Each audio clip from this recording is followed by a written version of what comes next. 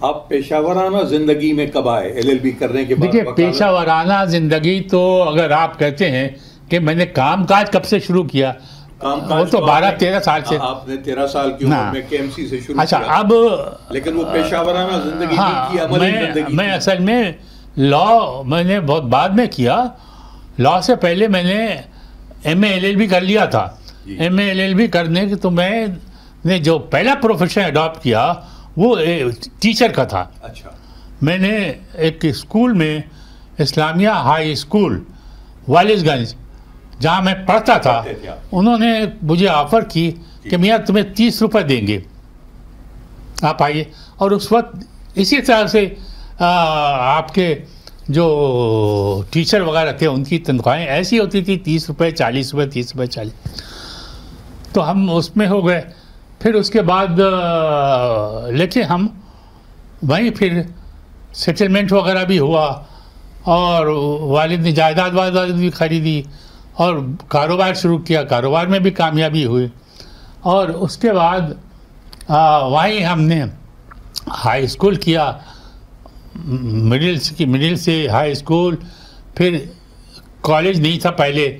College نہیں تھا اور ہائی اسکول میٹرک کرنے کے بعد داخلے کے لیے شکارپور جانا پڑتا تھا جی تب شکارپور جانے کا مطلب یہ ہے کہ یا تو آپ شکارپور میں رہیں جی۔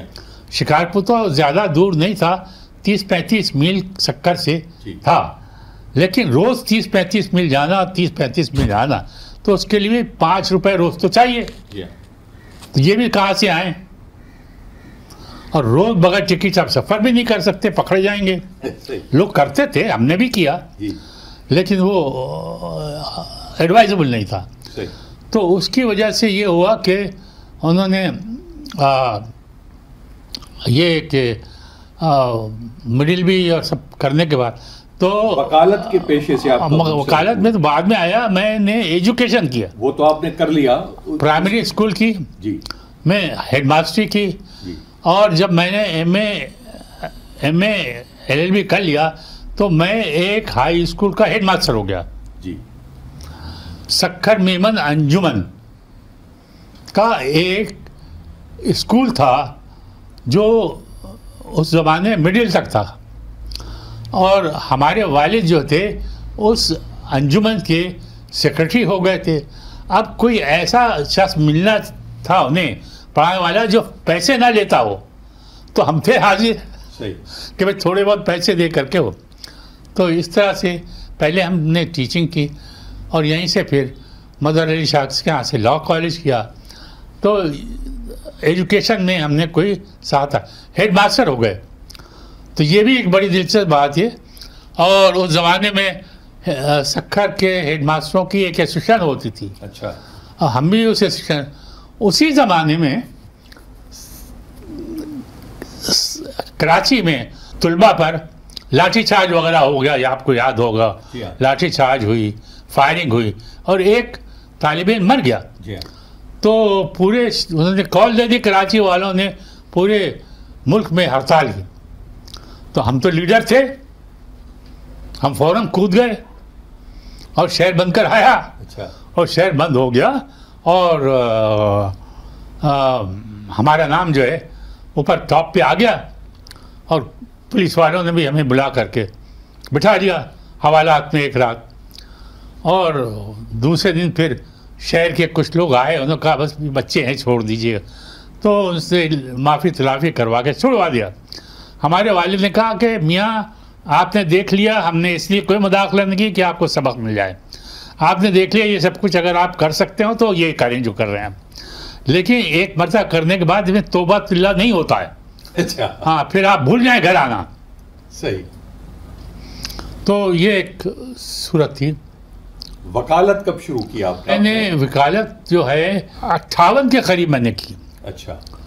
اٹھاون انیس سو اٹھاون میں میں M A L L B کر چکا تھا۔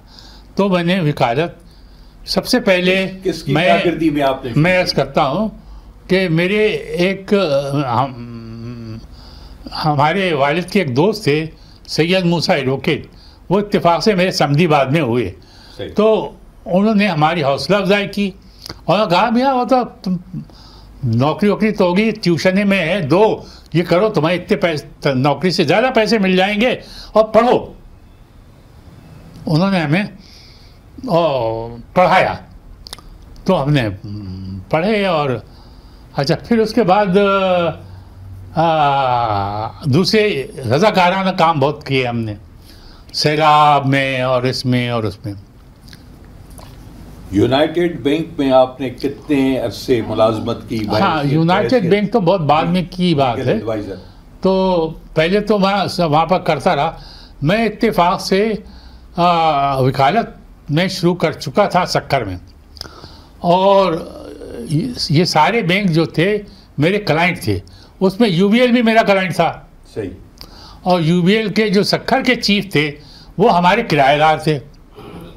تو انہوں نے کہا کہ آپ کو ہم اگر آپ چاہیں تو ہم آپ کو ملازمت دیں۔ میں کہا ہاں آپ مجھے ملازمت دیں لاء کی۔ جی۔ تو کہا کہ دیکھیں یہاں کی تو لاء کی ملازمت نہیں ہو آپ یہاں کا ہمارا کام کریں۔ لیگل کام ہم آپ کو دیا کریں گے اور ہر کیس پہ پیسے دیں گے۔ ہم نے کہا ٹھیک ہے۔ پھر لیکن ہوا یہ کہ اس کے بعد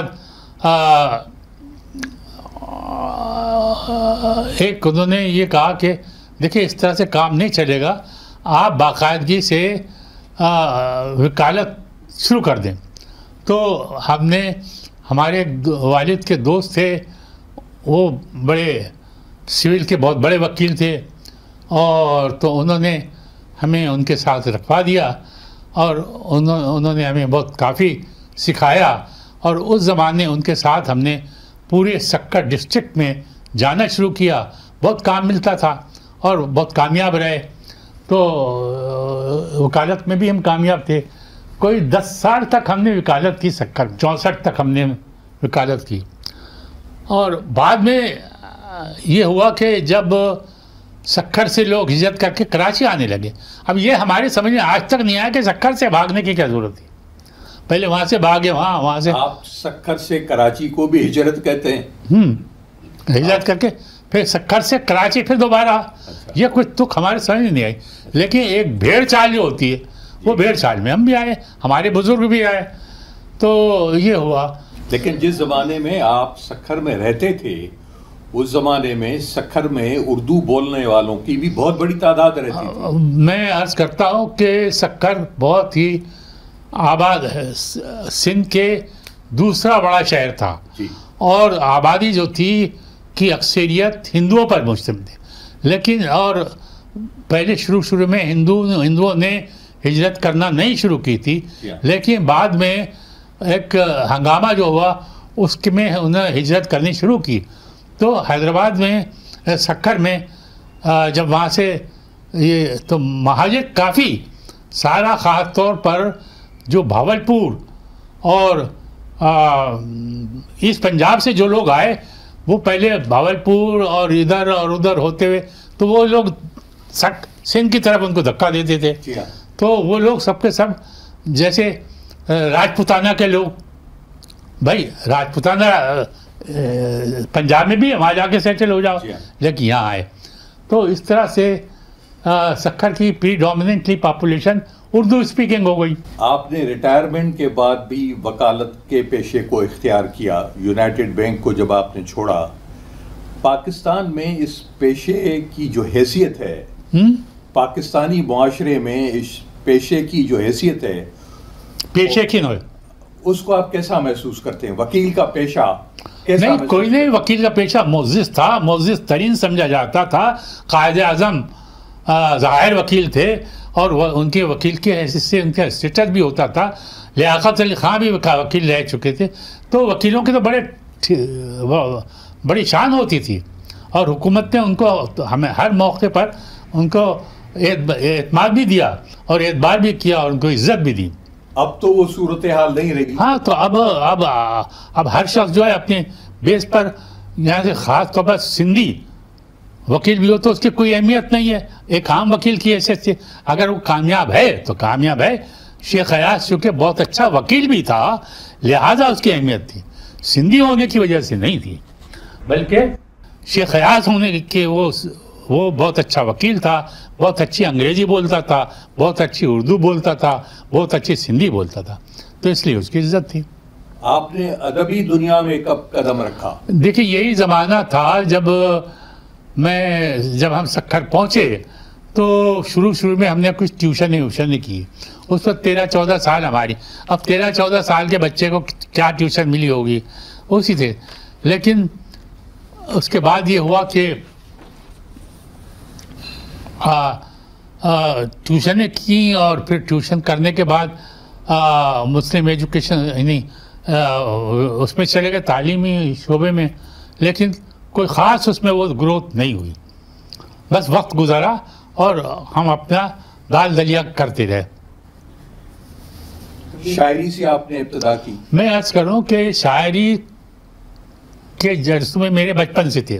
اچھا۔ جب میں سکھر ناگپور میں تھا تو ہمارے اسکول میں بزم ادب ہوا کرتی تھی۔ جی۔ اور بزم ادب کے جو چیف تھے یا جو تھے وہ ہمارے ماموں تھے۔ تو انہوں نے ہمیں اس میں بڑھایا کہ بھائی یہ تم نظم غزلیں کہو لکھو اس طرح سے لکھتے ہیں اس طرح سے کرتے ہیں۔ تو اس طرح سے ہمیں ہر ہر موقع پر کوئی نہ کوئی انگلی پکڑنے والا مل جاتا تھا۔ آپ نے شاعری بھی کی آپ نے تحقیق بھی کی آپ نے مضامین بھی لکھے آپ محقق بھی ہیں آپ نے ادبی تاریخیں بھی لکھی۔ دیکھیں شروع میں تو میں کچھ بھی نہیں تھا۔ میں نے میں تو کوئی میں بھی کچی کچھ نہیں پکی۔ شاعری شروع کی تھی۔ جی۔ جی وہ ہمیں ہمارے ایک بہت ٹیچر تھے آفاق صدیقی صاحب۔ وہ جنہوں نے شاہ لطیف کا ترجمہ شیخ یاز صاحب کے سے مل کے کیا ہے۔ جی۔ اس سوال کو یہاں روک کے میں ایک چیز آپ سے پوچھوں گا۔ کہ لوگ عام طور پہ کہتے ہیں کہ شیخ ایاز نے جو شاہ لطیف کا ترجمہ کیا وہ شیخ ایاز نے نہیں کیا آفاق صدیقی نے کیا تھا۔ یہ- کہاں تک صداقت ہے؟ ہم لوگوں نے- اگر وہ آپ کے استاد تھے تو۔ ہم لوگوں ہم لوگوں نے بھی جو ہر شہر کی جو ادبی حلقہ ہوتا ہے اس میں کچھ دوست ہوتے ہیں کچھ دشمن ہوتے ہیں۔ تو جو لوگ آفاق صدیقی کے خلاف تھے انہوں نے یہ پروپگنڈا کیا تھا۔ لیکن ہم تو روز دیکھتے تھے کہ آفاق صدیقی ان کے یہاں تین گھنٹے بیٹھتے تھے اور پھر وہ وہاں سے بیٹھ کے ادھر آتے تھے اور ہم نے بھی شیخ یاز کے آفس میں یہ کام ہوتے ہوئے دیکھا۔ یہ بات دوسری ہے کہ انہوں نے ترجمہ کر کے دے دیا اور وہ اس کو آ، بحر میں اور وزن میں یا یہ کرتے تھے۔ یہ سب کچھ ہوگا اور آفاق صاحب نے اس کی کبھی تردید نہیں کی۔ اس کا مطلب یہ ہے کہ شیخ ایاز نے وہ کام خود کیا۔ اور نہیں لیکن اکیلے نہیں کر سکتے اکیلے نہیں کر سکتے۔ اکیلے نہیں کیا تھا۔ آفاق صدیقی اور شیخ یاد دونوں جو تھے وہ ایک دوسرے کے سپورٹر تھے۔ بغیر آفاق صدیقی کے شیخ یاد کچھ نہیں کر سکتے تھے۔ اور شیخ یاد اپنے طور پر کچھ کرنا چاہے تو وہ بھی نہیں کر سکتے تھے۔ لیکن شیخ ایاز نے تو اپنی ادبی زندگی کا آغاز ہی اردو شاعری سے کیا تھا۔ ہاں میں نے تو یہ بات لکھی بھی ہے اور اردو شاعری بلکہ میں بتاؤں کہ انہوں نے اڑتالیس میں ایک ادبی پرچہ نکالا تھا۔ جی ہاں۔ اس کا نام تھا اگتے قدم۔ جی۔ شکارپور سے۔ جی۔ اور شکارپور سے اور دو تین دوست تھے ان کے۔ ساتھ میں اس وقت نام نہیں یاد آ رہے ہیں۔ تو یہ جو اردو اور سندھی کو قریب لانے میں جو کردار شیخ یاز نے ادا کیا وہ کسی نے نہیں کیا۔ شیخ یاز آفاق صدیقی یہ وہ لوگ ہیں جنہوں نے دونوں زبانوں کو دونوں عوام کو قریب ترین لانے میں اور اسی میں ان کی ترقی بھی ہوئی۔ آپ بیک وقت محقق بھی رہے ہیں بلکہ نقاد بھی رہے سوانح نگار بھی رہے آپ نے ادب کی تاریخ بھی لکھی۔ شروع میں تو میں کچھ بھی نہیں تھا تو یہی مضامین وغیرہ ہم جلسے ولسے ہوتے تھے، اس میں وہ لوگ ہم سے پڑھواتے تھے ہم پڑھتے تھے۔ اچھا پھر اس کے بعد ہائی اسکول ہائی اسکول میں آ گئے، تو پھر ذرا تھوڑا اسٹیٹس بڑھ گیا۔ اس کے بعد جو مقامی جلسے ہوتے تھے، اس میں ہم حصہ لیتے تھے۔ تو یہ سب کچھ ہوتا رہتا تھا۔ لیکن اصل چیز بریک تھرو جب ہوا، وہ جبکہ ہم سے یہ کہا گیا، کراچی میں کراچی میں فائرنگ ہوئی۔ ہم مڈل اسکول میں پڑھتے تھے اور یہاں فائرنگ ہوئی، ایک لڑکا مر گیا۔ اب ایک لڑکا مر گیا تو اس کے جلوس جلسے پورے ملک میں کوئی لڑکا مر گیا۔ اور وہ تو بڑی بات تھی۔ آپ لوگوں کو یاد ہوگا، اگر آپ یاد کریں اس زمانے کو، تو اس کے سکھر میں بھی بڑے جلوس جلوس ولوس نکلوائے ہم نے۔ اور ایک تحریک بن گئی۔ اور اس تحریک میں ہم بھی شامل ہو گئے۔ آپ نے سندھی ادب کی تاریخ لکھی ہے۔ ہاں یہ بہت بات کی بات ہے یہ۔ نہیں بات ہم بہت بات کی بات ہے۔ بات پہ ہی آتے ہیں۔ ہاں میں اس وقت انٹر بی اے کر چکا تھا۔ جی جی۔ جب میں نے پہلا مضمون اصل میں ہمارے ایک اور دوست تھے جن کا تھا نام فتح اللہ عثمانی۔ جی۔ ایڈوکیٹ تھے۔ انہوں نے شروع کیا اردو میں سندھی ادب پر مضمون لکھنا۔ جی تو ان کا دیکھا دیکھی ہم نے بھی شروع کیا۔ اچھا اب جیسے سندھی افسانے پر میرا مضمون چھپا۔ تو میں نے سندھی افسانے، رشید بچے کو پکڑا اور کہا دیکھو یہ سندھی افسانے۔ ہیں یہ ان کے علاوہ اور کون سے تم سمجھتے ہو، منتخب کر سکتے۔ ان کا یار پانچ یہ ہے، تم نے کیے پانچ اور کرو۔ دس کر لیے۔ تو میں نے کہا، اب یہ سمجھاؤ بھی مجھے۔ تو ان سے ہم نے سمجھا۔ اور سمجھ کے پھر اپنی زبان میں مضمون لکھے ان پر۔ وہ مضمون امرتسر کے ایک پگڈنڈی نام کا رسالہ تھا، اس میں چھپا۔ اور وہاں سے ہندوستان میں بھی چھکا ہمارے کئی لوگوں نے اس کی نقل کی۔ تو ہمیں کم عمری میں ایک دم ہندوستان، پاکستان کی منہ مل گئی۔ تو اس طرح سے ہوا۔ لیکن اصل چیز یہ ہوئی کہ جب ہم نے بی اے وی اے کر لیا اور مضامین لکھنے شروع کیے اور وہ پاپولر ہوئے۔ تو اس کے بعد ہماری باقاعدہ دوستی سندھی ادب سے ہو گئی۔ انجمن ترقی پسند مصنفین سے وابستگی کب ہوئی؟ دیکھیں انجمن ترقی پسند مصنفین سے پیدائشی دوستی تھی۔ کیونکہ ہم ترقی پسند تو پیدا ہی ہوئے۔ جی پیدا ہوتے ترقی پسند ہو گئے تھے۔ اور اور یہ ہمارے خاندان میں یہ ریت تھی۔ اچھا۔ میرے ایک عزیز جو تھے وہ کمیونسٹ ہوا کرتے تھے کمیونسٹ پارٹی کے رکن تھے۔ پھر جب ہم ترقی پسند ہو گئے اور انجمن کے وہ ہو گئے ورکرز بھی تو بہت سارے کام کرنے پڑے۔ اس وقت جو صورتحال تھی اور جو حیثیت تھی انجمن کی آج وہ حیثیت نہیں رہی ہاں، میں عرض کروں کہ- جو بٹوارے ہو گئے ہیں انجمن میں کہ اس کی کئی میں عرض کروں کہ ہندو سندھی، اردو آپس کی یکجہتی جو ہے، وہ ہمیشہ قائم رہی ہے اور وہ پہلے دن سے قائم رہی۔ بہت، مجھے کوئی ایک آدمی بھی اس وقت کا یاد ایسا نہیں آتا جس نے اردو کی مخالفت کی ہو یا اردو کے خلاف گیا ہو، بلکہ سب نے سندھی اور اردو کے تعلقات کو آپس میں ملانے اور جوڑنے کی کام کیا۔ آپ یہ فرمائیے کہ یہ جو انجمن ترقی پسند مصنفین کا بھی جو بٹوارا ہو گیا ہے اس کی وجوہات کیا ہیں؟ نہیں انجمن ترقی پسند مصنفین کا تو بٹوارا نہیں ہوا۔ اور لیکن یہ ہوا کہ چونکہ انجمن کا مین کام جو تھا وہ ہندوستان میں تھا لیکن یہاں پر سندھ میں بھی اس کے آثار تھے۔ مثال کے طور پر لارکانہ میں کچھ لوگ سوبو گیان چندانی۔ جی۔ سوبو گیان چندانی تو وہ تھے۔ اب سوبو گیان چندانی نے اردو ادب میں دلچسپی لی اور ان کو سراہا۔ تو خود بھی لکھا۔ تو آپ جانتے ہیں میں نے کتاب صوب گنجانتی پر جی ہاں۔ لکھی ہے۔ تو اور میں نے ان سارے کاموں کی فہرست بھی دی ہے اس میں۔ تو یہ شروع سے یہاں پر مخالفانہ تو کوئی بات نہیں۔ اس وقت تو میں ہندوستان کی بات نہیں کر رہا میں پاکستان کی بات کر رہا ہوں۔ کراچی میں بھی انجمن کے دو دھڑے ہیں پنجاب میں انجمن کا تیسرا دھڑا نہیں۔ انجمن ترقی پسند یہاں کی بات کر رہا ہوں میں۔ جی۔ ایز سچ جو پہلے سے تھی وہی رہی۔ دوسری بن کر کے سامنے نہیں آئی۔ مسئلہ تو مجھے میں تو شروع سے اس کراچی سکھر میں ہی رہتا ہوں۔ مجھے انجمن ترقی پسند مصنفین کی دوسری شا دوسری بتائیے کوئی بھی نہیں ہے۔ پنجاب میں؟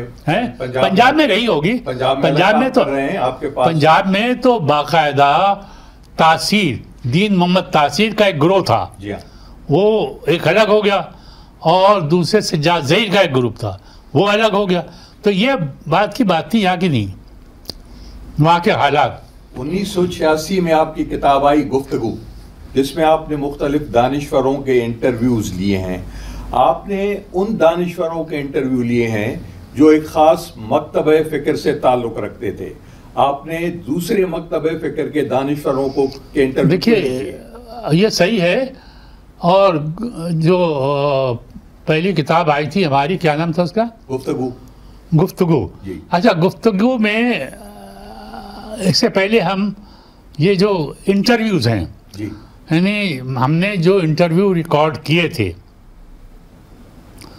ففٹیز میں اور سکسٹیز میں جو ریکارڈ کیے تھے وہ ان پر مشتمل ایک کتاب مذاکرے کے نام سے چھائے ہوئی۔ اچھا۔ وہ ہماری پہلی کتاب تھی۔ اچھا۔ مذاکرے۔ اور اس میں آٹھ دس مذاکرے جو تھے وہ شامل کیے گئے تھے وہ بہت پاپولر ہوئے۔ اس کی کئی دفعہ آئے۔ شاعتیں ہوئیں تو وہ ہوئے۔ پھر اس کے بعد گفتگو ہم نے وہاں پر مذاکرہ کے بعد یہ جو سندھی ادب پر کی تاریخ پہلے تو سندھی ادب پر مضمون لکھا پھر سندھی ادب پر مختصر تاریخ۔ یہ مختصر تاریخ ہم سے اکادمی آف لیٹرز والوں نے لکھوائی کہ لیکن یہ تو بعد میں لکھی ہے نا آپ نے۔ پہلے نے تو آپ نے خود اپنی کتاب لکھی سندھی ادب میلانات رجحانات امکانات وہ پہلے آئی تھی اور یہ کتاب تو بعد میں آئی تھی ہاں نہیں یہ پہلی والی میلانات والی بات کر رہا ہوں۔ جی، جی۔ یہ کتاب ہماری آئی۔ جی۔ اچھا لیکن انہوں نے کہا کہ صاحب یہ ٹھیک ہے کتاب آپ کی۔ لیکن آپ اس میں صرف سندھی ادب وہ وہ ہر ایک سے کتاب بنا رہے تھے بلوچی ادب کی۔ پر کتاب پشتو ادب پر کتاب۔ انہوں نے کہا تم سندھی ادب پر کتاب بنا دو۔ ہم نے کہا چلیے سندھی ادب پر کتاب بنا دیتے ہیں۔ اب وہ زیادہ میں بھی ہماری پچیس ایک سال کی عمر رہی ہوگی تو سندھی ادب پہ ہماری کتاب بن گئی اور وہ کئی ایڈیشنس کے چھپ چکے ہیں۔ آپ اب بھی انجمن ترقی پسند مصنفین سے وابستہ ہیں۔ ہاں، گولڈن انجمن ترقی پسند- گولڈن جبلی میں آپ نے بڑا کردار ادا کیا۔ انجمن ترقی پسند مصنفین کے کی وہ ڈیفنکٹ ہو گئی ہے۔ کوئی شخص پریکٹیکلی میدان میں کام کرنے کے لیے تیار نہیں ہے اور ہم بھی نہیں ہیں۔ لیکن ساری میٹنگیں یہیں اسی دفتر اسی کا آفس میں ہوتی رہی کمرے میں ہوتی رہی ہے یہیں پلاننگ ہوتی رہی ہے۔ ہم ہمیشہ سے ساتھ رہے ہیں۔ ہمیشہ ساتھ رہیں گے انجمن رہے یا نہ رہے۔ انجمن رہے یا نہ رہے ٹھیک۔ آپ نے شاعری کو چھوڑ کر تحقیق تنقید اور سوانح نگاری ہاں۔ کی صنفوں کو جو کہ شاعری میں میری دلچسپی زیادہ نہیں تھی۔ اچھا۔ اور میں دوسری بات یہ کہ بہت اچھا اچھا شاعر بھی نہیں تھا۔ میں خود کو اس قابل نہیں سمجھ سکا تھا کہ میں اپنا کیریئر شاعر کی حیثیت سے بناؤں۔ میں نے دانستہ یہ فیصلہ کیا کہ میں نثر نگار کی حیثیت سے تنقید نگار کی حیثیت سے تاریخ نویس کی حیثیت سے اپنا وہ بناؤں گا۔ جو آپ نے شاعری کی ان کے موضوعات کیا تھے؟ وہی جو شاعری کے ہوتے ہیں ترقی پسند شاعری کی جو ہوتے ہیں کہ مان لے بھائی اور سارے انسان ایک ہیں اور یہ کوئی خاص موضوع نہیں تھا اور کوئی خاص ہم نے اس میں دلچسپی بھی نہیں لی تھی۔ آشوب سندھ اور اردو فکشن آپ کی ایک بڑی اہم کتاب ہے جس میں آپ نے میں نے لکھا ہے غالباً اس کتاب میں۔ اس زمانے میں حیدرآباد دکن سے ایک بہت بڑی اردو کی افسانہ نگار آئی ہوئی تھی۔ تو ایک دن رات میں بیٹھے بات کر رہے تھے۔ تو انہوں نے کہا یہ بتائیے سندھ کی ادب کے بارے میں بتائیے۔ تو ہم جو جانتے تھے انہیں بتایا سندھی ادب کے بارے میں۔ شیخ ایاز کا نام تھا شیخ ایاز بتایا۔ یہ نثر کی بات بتایا۔ تو اس نے کہا کہ بھائی آپ تو وہ تو صحیح ہے۔ لیکن آپ نے کیا خدمت کی سندھی ادب کی؟ جی میں یہی پوچھنا چاہ رہا ہوں۔ آپ نے کیا؟ جی۔ ہم نے کہا صاحب ہم تو پڑھتے ہیں۔ اور کچھ نہیں بولے نہیں آپ لکھیے۔ آپ اردو والوں کو بتائیے کہ سندھی میں کیا ہے۔ جی ہاں۔ یہاں سے ہم نے سندھی ادب پر لکھنا شروع کیا۔ پہلا مضمون لکھا رشید بھٹی ہمارے دوست تھے رکن الدین قاسمی ہمارے دوست تھے شیخ یاد تھے۔ تو جاتی تھی شیخ یاد تک۔ ان سے بھی سب نے کہا بہت اچھا یار تو بہت کرو یہ۔ انہوں نے ہماری حوصلہ افزائی کی۔ تو اس طرح سے ہم نے سندھی کے مضامین بھی جمع کیے لکھنا شروع کیے۔ تو نصف صدی کے آپ کے تجربات آشوب سندھ میں ہیں جس میں آپ نے سندھ کی زندگی سندھ کے مسائل ہاں نہیں وہ آشوب سندھ ذرا۔ مختلف چیز ہے۔ جی۔ ہوا یہ کہ ایک ہندوستان سے ایک بہت بڑی رائٹر آئی ہوئی تھیں تو ان سے ڈسکشن ہو رہا تھا تو انہوں نے کہا کہ وہ سب صحیح ہے۔ ہم نے کہا صاحب آپ نے تو بڑا کمال کیا حیدرآباد دکن کی ایک ایک بات اردو ادب میں آ گئی ہے اردو۔ تو کہا کہ یہ سندھ کی کیوں نہیں آئی؟ جی بالکل۔ آپ لوگ سندھ میں ہیں سندھ میں آپ نے کیا کیا؟ ہم نے کہا ہاں یہ تو کچھ نہیں۔ کہنے آپ کریں۔ تو وہاں سے ایک ایک گروپ ہمارا دو تین چار لوگوں کا چلا اور ہم نے سندھی میں اردو میں سندھی ادب۔ اب اعتماد اتنا نہیں تھا کہ ہم جو کر رہے ہیں وہ صحیح ہے یا غلط ہے۔ تو دکھاتے تھے ہم۔ پہلے ہمارا اچھا مشکل یہ تھی کہ جو ہمارے جتنے دوست تھے، وہ بہترین سندھی رائٹر تھے۔ شیخ ایاز عبد الرزاق رات محفوظ یا یہ سارے لوگ۔ لیکن مسئلہ یہ تھا کہ یہ ہمیں انہوں نے سندھی سیکھنے نہیں دی۔ ہمیں ہم سے اردو میں بات کرتے۔ جب تک آپ بولیں گے نہیں زبان، اس وقت تک کوئی نہیں سی تو ایک ایک یہ ہوا، دوسرے یہ کہ سندھی نہیں آتی تھی، کوشش کر کے سیکھا، ترجمے کیے۔ تو اس میں ہمیں ان کی مدد کی ضرورت پیش آئی۔ سب سے ہم نے مدد لی۔ اور اس بات کو ہم نے کبھی چھپایا نہیں، بلکہ ان مضامین کے اوپر لکھا بھی کہ اس کی اس ترجمے فلانے جی سے مدد لی گئی۔